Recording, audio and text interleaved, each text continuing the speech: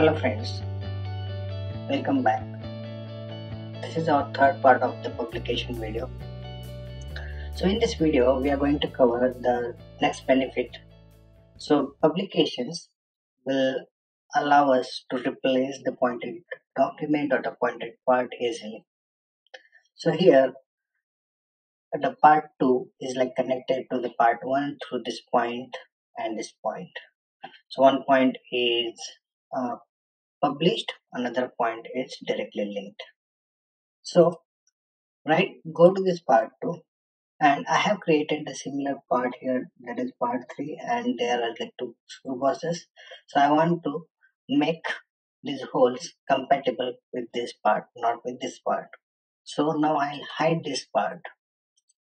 And secondly what I'm gonna do I'll go here and you can see I have created a publication here Similarly, I'll create a publication in this point, uh, this part 3. So I'll go to tools, create a publication of this point 2. Click yes, click OK. And now you have to make sure that the publication name here and the publication name here is the same. Now next thing you have to do, go to this part 2 and go to edit links and now we have here the screw boss point. Here you want to change that replace that. So you have to replace that. Go to here replace. And here you can cancel that window and click here loaded document. In the loaded document you have to select this part 3 click ok So now once you click OK, you can update that. The second one you can replace and again here cancel that window and click on this loaded element.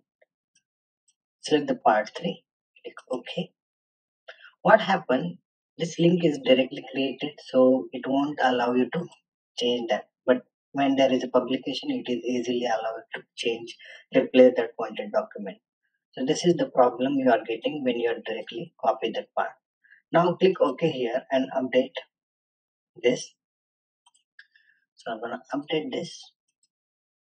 So instead of hide this part, I'm gonna hide this part one.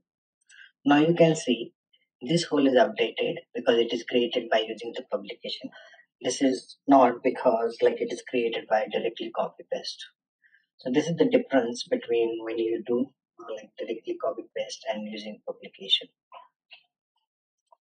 So next thing we're gonna learn about when you replace the component, how it gonna be work.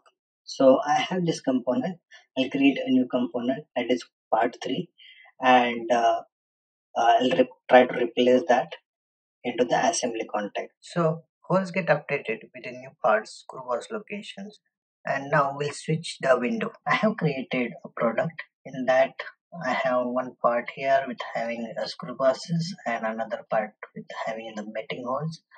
I want to replace the part 1 with the part 3. I have created a new part. So here what I have to do, I have to check here the part 1 there are like two uh, two publications. I have to create the publication with the new point with the similar name. So I have already created the point 1 now need to update this point 2 so go to this part 3 and you can go here go to publication. The point 2 is not connected so I want to connect with this point. So click OK here. Yes.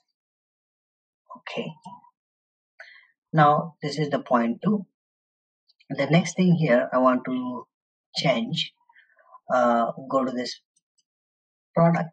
Right click here go to this component and you have to replace component. Replace component cancel that window and here you have to select the loaded document. In the loaded document you have to select this part 3 click ok. Now click ok and update the link here. So in this way you can update or replace the part and you also update the meeting part with respect to that if have the same publication names with the new part in the new part.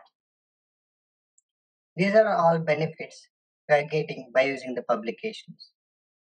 That's all for this video. If you like my videos, please do share and subscribe to my channel. Thanks for watching.